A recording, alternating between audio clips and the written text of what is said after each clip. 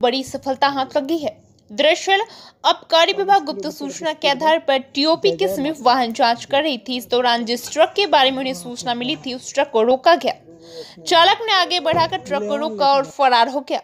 वहीं झारखंड के झड़िया निवासी एक तस्कर जो ट्रक पर सहायक के रूप में था, उसे गिरफ़्तार कर लिया गया है। आबकारी विभाग के इंस्पेक्टर चंदन कुमार ने बताया कि जाँच के क्रम में टीओपी के पास एक बंगाल नंबर की मी ट्रक से गुप्त रूप से ले जा रहे विभिन्न ब्रांडों के 117 विदेशी शराब को जब्त कर लिया गया है। उन्होंने कहा कि अनुमान लगाया जा रहा है कि होली में खपाने के लिए शराब को ले जाया जा रहा था। हालाँकि सहायक से पूछताछ की जा रही है। उन्होंने कहा कि होली तक लगातार मुख्य मार्गों पर आबकारी विभाग सघन वाहन चेकिंग अभियान चलाएगा।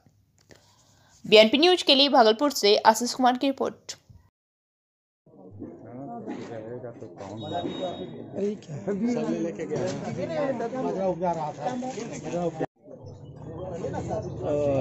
तब हमको दिक्कत याद आया हमको मैडम फ़ोन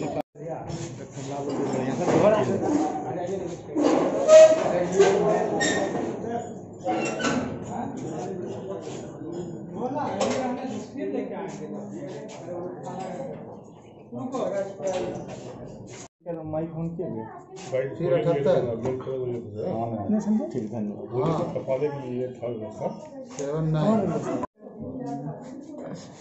सर, क्या नाम सूचना के आधार पे आज जो है हम लोग एक जगह रेकी कर रहे थे। उसी रेकी के क्रम में हम लोगों ने अपने दो सिपाहियों को बाइक से आगे भेजा था।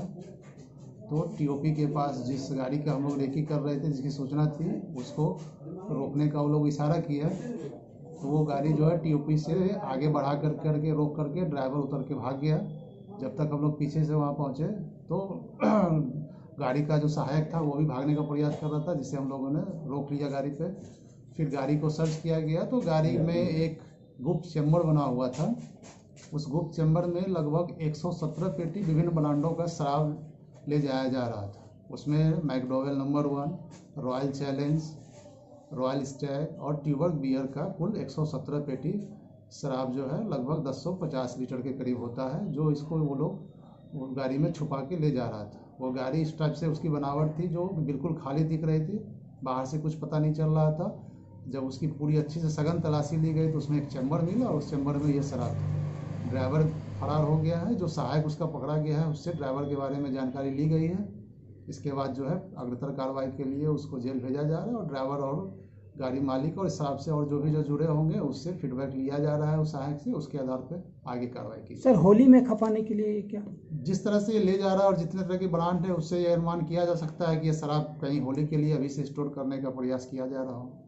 होली आ रही है सर नज़दीक और उस समय शराब की तस्करी ज़्यादा होती है। क्या किया हम लोग हम लोग अभी 24 घंटे हम लोग 24 घंटे अभी जो है जो भी ये मुख्य सड़क है जहाँ से संभावना हो सकती है चाहे वो सनौला से आने वाले रास्ते हो या जगदीशपुर रास्ता हो या अमरपुर रास्ता हो इस पर हम लोग बारी बारी से कंटिन्यूस कर रहे हैं। डेली हम लोग जो है उस रोड में अलग अलग करके टीम निकालते हैं और हम लोग से रेकी करते रहते हैं गाड़ी से पीछा करके चेक करते रहते हैं।